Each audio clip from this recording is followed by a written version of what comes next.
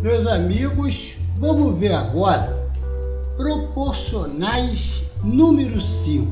Nós vimos proporcionais número 1, número 2, número 3, número 4 e agora proporcionais número 5. O que que acontece? Essa questão, ela caiu na escola preparatória para cadete do ar. Como eu falei para vocês nas aulas anteriores, nos vídeos anteriores, eu só estou botando questões que se referem a concursos, escolas militares, universidades como a de Uberlândia e outras mais. Olha só, essa questão, pessoal, é muito interessante, é fácil, mas tem que ter cuidado. Tá? Tem que ter cuidado, nós vamos usar o jogo das proporcionais, sempre fazendo dessa forma. Então eles botam aqui, ó, calcular os ângulos de um triângulo, sabendo que são proporcionais a 2, 3 e 4.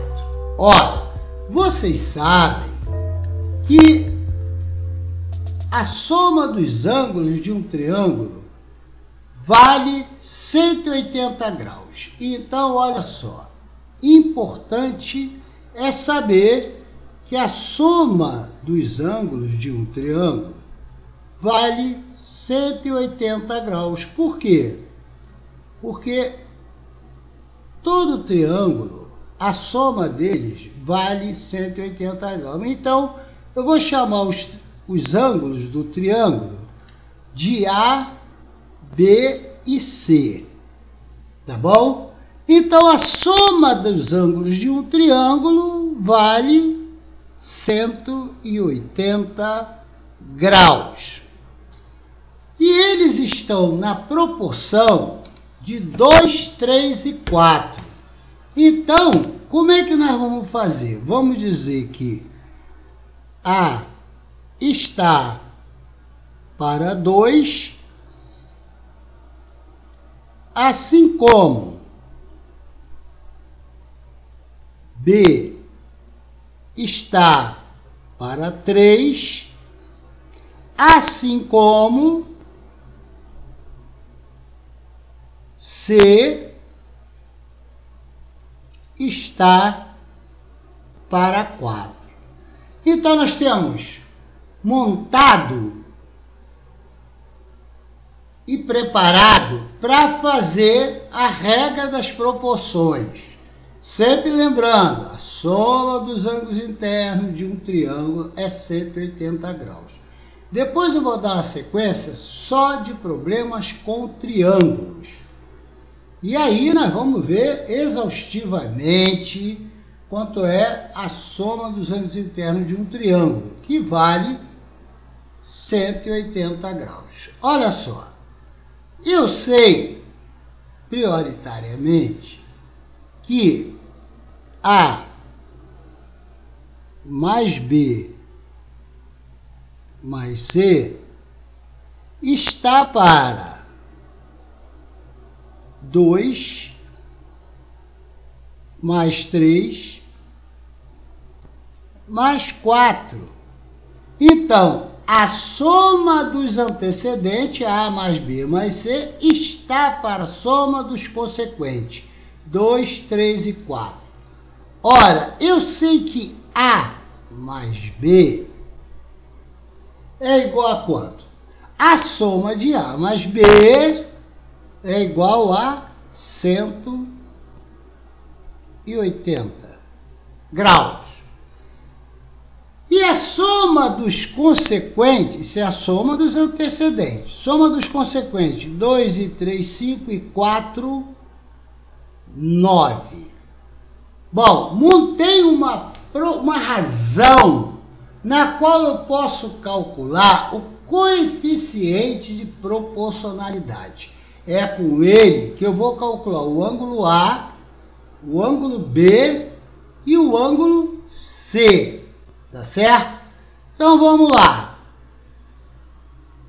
Quanto é 180 dividido por 9? 180 dividido por 9 é igual a 20. Quem é 20? 20 é o coeficiente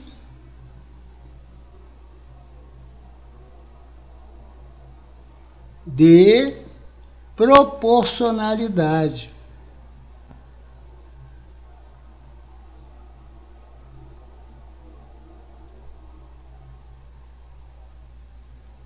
É com ele que eu vou calcular, é com ele que eu vou calcular,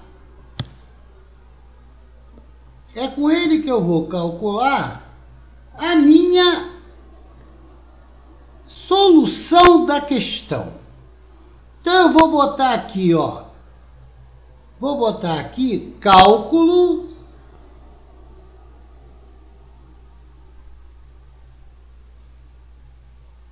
DA. E vou calcular quatro cálculos de A. Vou colocar a razão que se refere a A.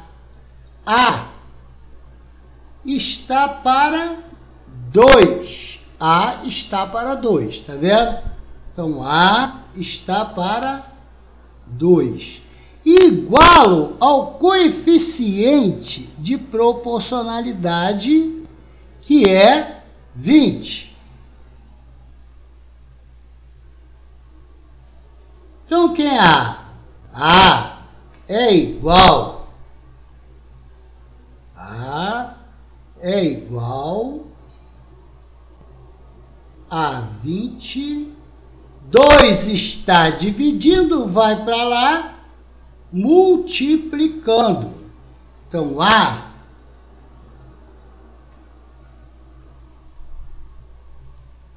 é igual a 40. A é igual a 40, já achei o ângulo A. A é igual a 40 graus. 40 graus, tá vendo? Achei o A. Agora, cálculo de B. Cálculo de B.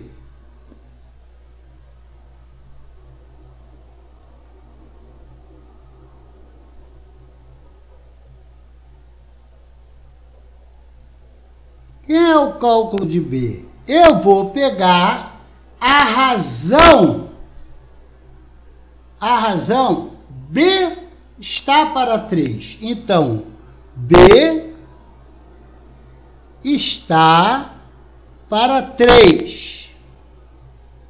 Igualo novamente ao coeficiente de proporcionalidade, que é 20. Da mesma forma que eu fiz quando eu calculei o ângulo A.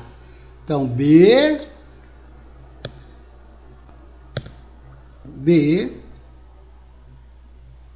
é igual a 20 vezes 3. Está dividindo, vai para lá, multiplicando. Então, B é igual a 20 vezes 3, 60. Então, o ângulo B vale 60 graus. Cálculo de C.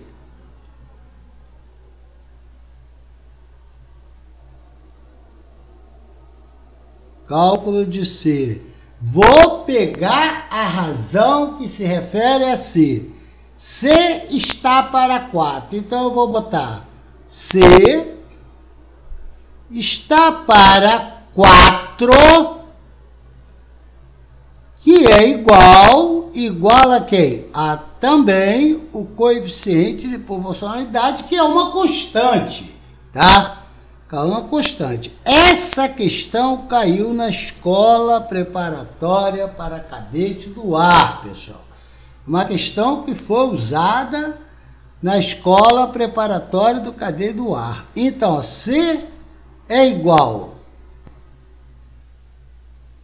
a 20 vezes 4. Como eu falei, ele está dividindo, vai para lá, multiplicando. A operação inversa da divisão é a multiplicação. Então, C é igual a 20 vezes 4. Então, C é igual a 80 graus. Então, eu tenho que A é 40, B é 60 e C é 80. 80. Qual é a resposta? Quais são os ângulos do triângulo proporcionais a 2, 3 e 4? Ó, 2, 3 e 4. Resposta. Resposta.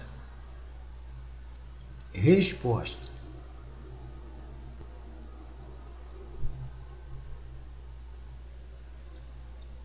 A igual a 40, B igual a 60 e C igual a 80 graus. Essa é a resposta do nosso problema. Quem marcou a letra lá, claro, tem cinco informações lá, né? Vamos colocar aqui, ó, letra A, 20, 30 e 40. Letra B, 30, 60 e 90. Letra C, 40, 60 e 80. Né? Letra D, 40, 60 e 100. E letra E, lá na prova, NRA, significa nenhuma das respostas acima. Então, qual é a resposta certa? Letra C. Letra C, 40, 60 e 80. Então, a resposta A seria letra C. Tá certo, pessoal? Olha só, essa é a nossa questão que caiu na escola preparatória para cadete do ar, escola militar para quem vai fazer, é um bom treino. Não é difícil, mas se você não conhecer as regras das proporções, realmente vai dar problema. Eu vou agradecer a vocês. Mais uma aula. Nossa. Fica na paz. Fica com Deus. Proporcionais número 5, Escola Preparatória para Cadete do Ar. Fui!